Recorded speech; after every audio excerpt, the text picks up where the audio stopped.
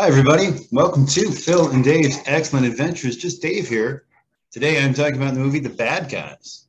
This is going to be a spoiler review, so if you are concerned about spoilers, I suggest you go and watch the movie first before you watch this review.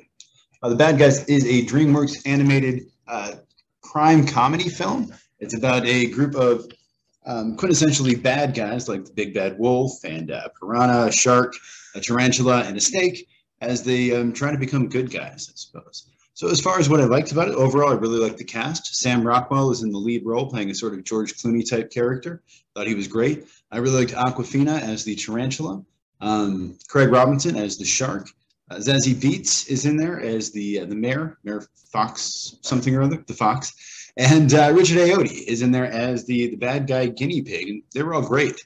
Um, overall, I really liked the story in this, and uh, there's these sort of heist elements to the movie, so it's a very similar to like say the Ocean's Eleven uh, series of films, uh, and I really like those kind of movies. And so seeing a heist uh, in a you know cartoon is kind of interesting. Reminded me a little bit of the heist episode of Rick and Morty as well. Um, I like the animation style here. It is uh, you know different than um, than I guess you know I've seen, although it is not too dissimilar from um, Turning Red, which uh, Pixar put out earlier. One of the characters, at least the police chief, reminds me physically looks a lot like the characters in uh, Turning Red looked. Um, I really like the themes in this. Basically, you know, it's talking about uh, whether or not bad people can become good people, and I think that is, um, you know, the kind of idea, the kind of thought that really works as well for an adult movie as it does for a kids movie. Um, overall, I like the humor in this movie. There is a lot of fart and, and, butt jokes in the movie, and there's a lot of sort of scatological humor.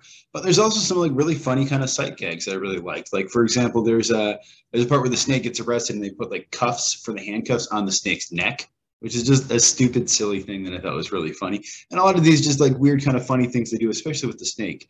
Um, that I don't know, just clever little kind of you know background things that aren't exactly acknowledged, but that I thought were funny and clever. Um, overall, I really like the music in this movie. Um, it seemed like they did a lot of original music, which I, because I, had heard the Billie Eilish song in the trailer, I expected to hear it in the movie, and I don't think it was in there. If it was, I missed it, and uh, it's good because I'm kind of sick of that movie. Um, overall, I like the pacing in this movie.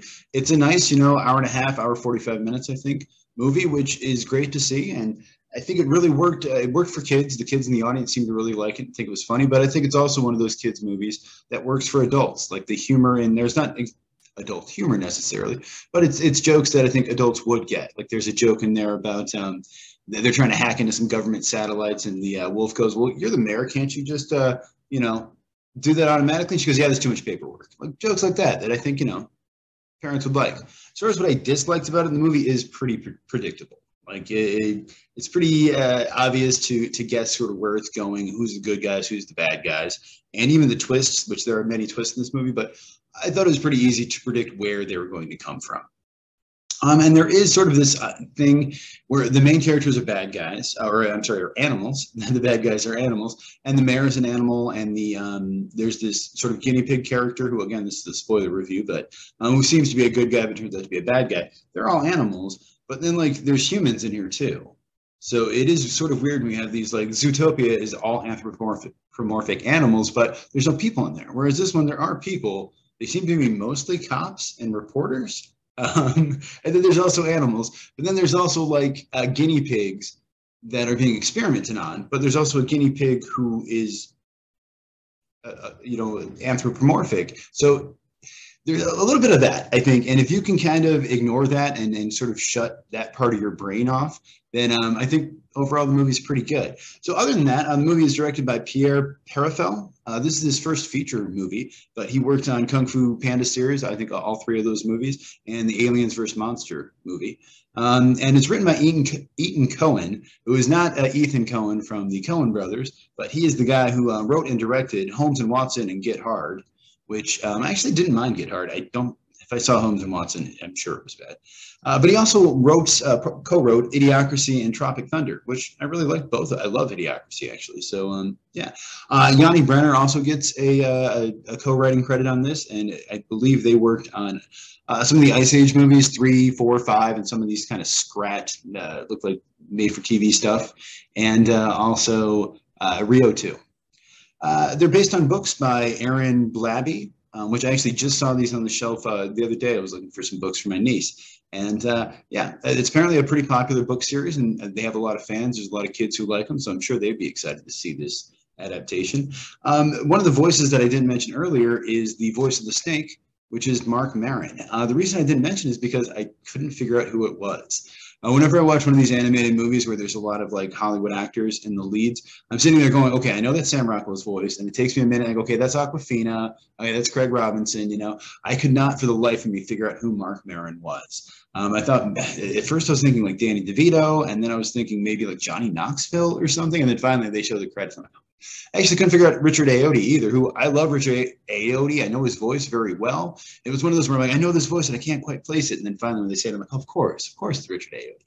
Um, other than that, uh, Anthony Ramos is also in here. He plays Piranha. I didn't recognize his voice because I don't think I've ever seen anything that he's done before. Um, but it looks like he's mostly known for In the Heights and uh, Hamilton. So he works with Lin Manuel Miranda, and uh, he does his own singing in the movie. And he's got a good voice. He's a good singer, and I like the song that they did. So good for him. Uh, and of course, uh, you know, Hispanic representation is important. They are underrepresented in movies, so it's always good to see one in a in a major role. Although this one is kind of a stereotype, but it's a kids' cartoon, so I don't know.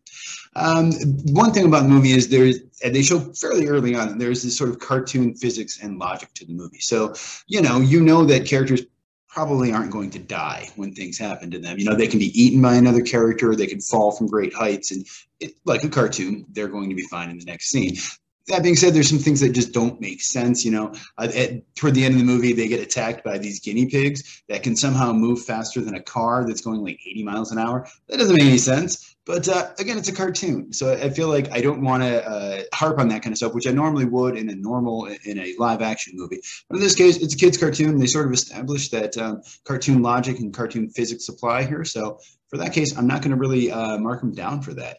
Uh, this is made by DreamWorks, uh, distributed by Universal, and I think it's just always good to see a movie that's not made by Disney or Pixar. Which I have nothing against Disney or Pixar, but it's nice to see other movies out there, other cartoon animated movies for kids. Um, so for me, I really liked this movie. I thought it was really funny, and uh, I really liked the theme in it. In a lot of ways, I think this could very well be a uh, sort of cult classic or something that you know, 10, 15 years from now, people go, "Oh wow, that was a really great movie." Um, so I'm going to give it an eight out of ten. I really like this movie. I think it's great for kids, and I think adults would like it as well. So if you saw the movie, let me know what you think of it down in the comments below. Thank you so much for watching. Hope you have a great night, and I will see you here again next week.